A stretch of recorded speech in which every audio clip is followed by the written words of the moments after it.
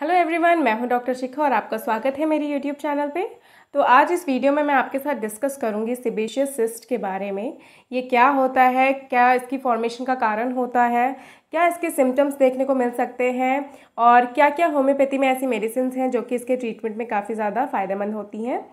तो आज इन्हीं सब चीज़ों पे चर्चा करेंगे। वीडियो अंत तक ज़रूर देखें। ये वीडियो बहुत ही इन्फॉर्मेटिव होने वाली है।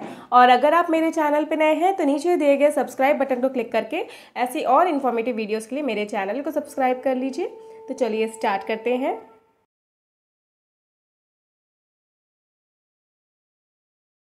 हमारे स्किन के ऊपर जब छोटे छोटे लम्ब्स या गाठें बननी शुरू हो जाती हैं तो उनको सिबेशियस सिस्ट बोलते हैं। ये जो सिस्ट होते हैं, ये सिंगल भी हो सकता है मल्टीपल भी हो सकते हैं। इनका जो कलर होता है वो फ्लैश कलर होता है यानी कि आपके स्किन के कलर का होता है ये। आ, हाथ लगाएँगे तो फिर ये थोड़े फर्म नेचर के होते हैं कुछ थोड़े सॉफ्ट नेचर के होते हैं। वेल डिफाइंड इनका मार्जिन होता है। इनका साइज़ जो है वो मैट वेरी करता है। ये मटर के दाने जितना जो साइज़ है उतना हो सकता है या फिर ये अखरोट जितना जो साइज़ है उतना हो सकता है। जनरली ये जो गाठे होती है या ये जो सिस्ट होते हैं ये स्लो ग्रोइंग होते हैं।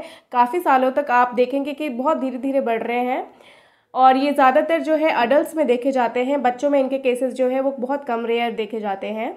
ये जो ग्रोथ होती है, ये नॉन कैंसरस ग्रोथ होती है हार्मलेस होती है, इसमें घबराने वाली कोई बात नहीं होती। अब बात करते हैं इसके फॉर्मेशन की, कि इसका क्या रीज़न होता है बनने का। आपकी जो स्किन होती है, उसमें बहुत सारे ग्लैंड होते हैं, कुछ सिबेशियस ग्लैंड होते हैं या ऑयल ग्लैंड होते हैं। तो ये ऑयल ग्लैंड्स ये सिबेशियस ग्लैंड्स जो हैं, ये आपकी स्किन में जाके खुलते हैं, या फिर आपके हेयर फॉलिकल जो होते हैं हेयर जो होते हैं आपकी स्किन में, उनमें जाकर खुलते हैं। तो जब इन ग्लैंड्स में किसी तरीके का ब्लॉकेज हो जाता है, या इनका जो ओपनिंग है वो बंद हो जाता है किसी तरह से तो वहाँ पर जो अंदर ये सीबम सिक्रीट करता रहता है, ये ऑयली सब्सटेंस सिक्रीट करता रहता है, वो अंदर ही भरता जाता है, एक कैप्सूल काइंड ऑफ़ फॉर्म कर लेता है अंदर, और आपकी स्किन में एज ए गार्ड के रूप में ये दिखाई देता है। तो ये इसके बनने का कारण होता है। अब बात करते हैं कि क्या क्या रीज़न है जिसकी वजह से ये डक्ट जो है वो बंद हो सकती है। तो सबसे पहला कारण होता है अगर आपको कोई इंजरी हो गई हो, यानी कि आपकी कोई बॉडी में स्क्रैच पड़ा हो या फिर सर्जिकल इंजरी कोई हो गई है, उस वजह से आपको सिबेशियस सिस्ट की प्रॉब्लम हो सकती है। अगला कारण है अगर आपके सिबेशियस डक्ट में ही कोई प्रॉब्लम हो, उसकी ग्रोथ में ही कोई प्रॉब्लम हो तो तब आपको ये प्रॉब्लम जो है वो हो सकती है। अगला रीज़न है, अगर आप में कोई हार्मोनल चेंजेस हो रहे हो या हार्मोनल इम्बैलेंस हो तो उस वजह से भी ये जो प्रॉब्लम है वो देखी जा सकती है। इसका एक और रीज़न हो सकता है, अगर आपका जो हेयर फॉलिकल है या फिर जो आपके हेयर हैं छोटे छोटे हाथों में या पैरों में बॉडी में, वहाँ पर अगर किसी तरह का इन्फ्लेमेशन हो जाए, वहाँ पर किसी तरह की स्वेलिंग हो जाए उस वजह से आपका जो सिबिशियस सिस्ट का जो प्रॉब्लम है वो हो सकता है। अब बात करते हैं इसके सिम्टम्स की। तो ये जो प्रॉब्लम होती है या ये जो सिस्ट होता है, ये आपकी बॉडी में हर जगह दिखाई दे सकता है बट इसके जो कॉमन साइट्स होते हैं या ज़्यादातर दिखने वाली साइट्स होती हैं, वो होता है आपका स्कैल्प यानी कि सर।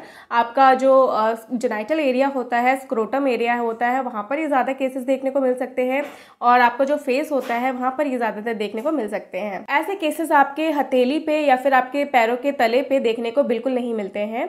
तो यहाँ ये इसकी कोई कॉमन साइट्स होती हैं। अब सिम्टम्स की बात करते हैं तो इसमें जनरली एक पेनलेस लंप होता है। पेनलेस गाठ होती है, इसमें किसी तरह का दर्द नहीं होता। बट इसमें अगर कोई इन्फेक्शन हो जाए, उस वजह से वहाँ पर इन्फ्लेमेशन हो जाए स्वेलिंग हो जाए तो इन गाठों में जो है वो पेन हो सकता है। बट ये बहुत रेयरली देखा जाता है। इसमें कुछ लोगों को बहुत हल्की सी खुजली महसूस हो सकती है, कुछ लोगों को बहुत ज़्यादा खुजली महसूस हो सकती है। इसी के साथ साथ अगर ये प्रॉब्लम आपके स्कैल्प एरिया में हो, यानी कि सर के एरिया में हो तो फिर वहाँ पर जिस एरिया में ये लंप होगा, वहाँ पर आपको हेयर लॉस की शिकायत भी हो सकती है। इसके पहचान के लिए एक इंडिकेटर ये होता है कि ये जो सिस्ट होते हैं, इनमें एक ब्लू कलर का डॉट या पंक्टम जो है वो देखने को मिल सकता है आपको। तो इस तरह से इसका पहचान किया जा सकता है। इसी के साथ साथ इसमें जो अंदर फ्लूड होता है या अंदर जो इसका मटेरियल होता है वो ग्रेइश वाइटिश कलर का हो सकता है। और इसमें काफ़ी ज़्यादा स्मेलिंग काइंड ऑफ़ नेचर भी होता है इस डिस्चार्ज का। अब बात करते हैं इसके ट्रीटमेंट की। तो जनरली ये हार्मलेस होते हैं, इस वजह से इसका कई लोग जो है वो ट्रीटमेंट नहीं लेते हैं और करवाने की ज़रूरत भी नहीं पड़ती। कुछ सिस्ट ऐसे होते हैं जो कि अपने आप ही टाइम के साथ साथ धीरे धीरे अपने आप कम हो जाते हैं या गायब हो जाते हैं। अगर आपको इसमें कोई पेन हो या फिर आपको कोई प्रॉब्लम हो रही हो अनकंफर्टेबल फील हो रहा हो या आपको कॉस्मेटिक रीजन की वजह से ये निकलवाना हो तो आप इसका ट्रीटमेंट ले सकते हैं। होम्योपैथी में ऐसी कई मेडिसिन है जो कि आप कुछ टाइम लेके सिबिशियस सिस्ट से बिना किसी इंसिजन के या बिना किसी सर्जरी के बिल्कुल ठीक हो सकता है। तो इसमें सबसे पहले मेडिसिन है बराइटा काप बराइटा काप उन केसेस में दिया जाता है जहाँ पर पेशेंट को बहुत ज़्यादा सेंसिटिविटी होती है कोल्ड के लिए। ज़रा सा भी ठंड हो जाती है तो पेशेंट एक बहुत बीमार पड़ जाता है। टॉन्सिल्स की बहुत ज़्यादा दिक्कत होती है इन्फ्लेमेशन हो जाती है टॉन्सिल्स में। तो ऐसे केसेस में अगर आपको ये सिस्ट की प्रॉब्लम हो रही है तो फिर आप ये मेडिसिन जो है, इसकी थर्टी पोटेंसी में दो दो बूंदे करके दिन में तीन बार ले सकते हैं। अगली मेडिसिन है काली आयोड थर्टी काली आयोड उन केसेस में दिया जाता है जहाँ पर आपके स्कैल्प एरिया में ऐसे सिस्ट जो हैं, वो देखे जाते हैं।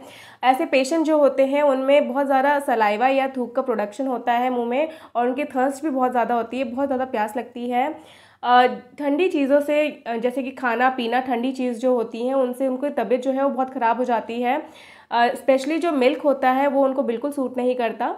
तो ऐसे केसेस में आप ये मेडिसिन जो है, इसकी दो दो बूंदे करके दिन में तीन बार ले सकते हैं। अगली मेडिसिन है hepar sulph thirty hepar sulph उन केसेस में दिया जाता है, जहाँ पर ऐसी जो केसेस होते हैं, वहाँ पर सुपुरेशन हो जाए, यानी वहाँ पे पस भरनी शुरू हो जाती है। तो ऐसे केसेस में आप ये मेडिसिन ले सकते हैं। ऐसे पेशेंट की स्किन में जरा भी इंजरी हो जाती है तो वहाँ पर बहुत जल्दी पस भरना शुरू हो जाता है। इसी के साथ साथ पेशेंट को ठंड बहुत ज़्यादा लगती है, गर्म कपड़े में रैप करना पेशेंट को काफ़ी ज़्यादा अच्छा लगता है। तो ऐसे केसेस में आप ये मेडिसिन जो है, इसकी दो दो बूंदे करके दिन में तीन बार ले सकते हैं। अगली मेडिसिन है ग्रेफाइटिस थर्टी ग्रेफाइटिस थर्टी एक बहुत ही अच्छी मेडिसिन होती है स्किन के प्रॉब्लम्स के लिए। अगर आपको बहुत बड़े सिस्ट हो रहे हैं, उन केसेस में आप ये मेडिसिन ले सकते हैं। ये सिस्ट को डिज़ोल्व करने में काफ़ी ज़्यादा हेल्पफुल होती है मेडिसिन तो ऐसे केसेस में आप ये मेडिसिन जो है, इसकी दो दो बूंदे करके दिन में तीन बार ले सकते हैं। अगली मेडिसिन है थूजा थर्टी थूजा एक बहुत ही अच्छी मेडिसिन होती है। अगर आपके स्किन में कहीं भी लम्प फॉर्मेशन या कोई भी आउटग्रोथ हो जाता है उसके लिए। अगर आपको ऐसी सिस्ट की प्रॉब्लम अपने कवर्ड पार्ट्स में हो रही है तो ऐसे केसेस में आप ये मेडिसिन जो है, इसकी दो दो बूंदे करके दिन में तीन बार ले सकते हैं। इसी तरह और भी मेडिसिन होती है, जैसे कि फाइटोलेका सेलिशिया कैलकेरिया फ्लोर जो कि पेशेंट के इंडिविजुअल सिम्टम्स के हिसाब से दी जाती है। अगर आपको इनमें से किसी भी मेडिसिन का सिम्टम जो है वो मैच करता है तो आप ये मेडिसिन जो है कुछ टाइम तक ले सकते हैं। अगर आपको इसके अलावा कोई और सिम्टम्स भी आ रहे हैं तो फिर आप अपने नज़दीकी होम्योपैथ के पास जाके पूरी केस हिस्ट्री देकर अपने लिए एक सुटेबल मेडिसिन जो है वो ले सकते हैं। अब बात करते हैं इसकी प्रिकॉशन की कि आपको क्या करना है, ताकि इसमें ज़्यादा प्रॉब्लम ना हो आपको। तो सबसे पहले आपको हाइजीन मेंटेन करके रखना है। सेकंड आपको इसको बिल्कुल टच नहीं करना स्क्रैच नहीं करना है। स्क्वीज़ करने की बिल्कुल आपको इसमें कोशिश नहीं करनी, क्योंकि आप ज़रा भी इसको दबाएँगे तो ये जो कैप्सूल होता है, वो अंदर की तरफ़ बर्स्ट होकर अंदर की तरफ़ इन्फेक्शन क्रिएट कर सकता है। तो इसलिए आप इसको स्क्वीज़ बिल्कुल बिल्कुल मत करिए। इसके साथ साथ आप इस पर गर्म सेक भी कर सकते हैं। तो ये सारे प्रिकॉशंस को याद रखकर और जो भी मैंने मेडिसिन बताई है, अगर आपको वो सिम्टम्स के हिसाब से मैच कर रही है तो आप ये ले सकते हैं और आपकी प्रॉब्लम जो है वो धीरे धीरे करके ख़त्म हो जाएगी। तो इस वीडियो में इतना ही। आशा करती हूँ आपको पसंद आई होगी। इस वीडियो को अपने दोस्तों तक, अपने रिलेटिव्स तक शेयर करिए ताकि उन, वो भी इन सब चीज़ों से अवेयर हो सके। तो मिलती हूँ आपसे अगले वीडियो में और इन्फॉर्मेटिव कंटेंट के साथ। Till then good bye stay healthy stay aware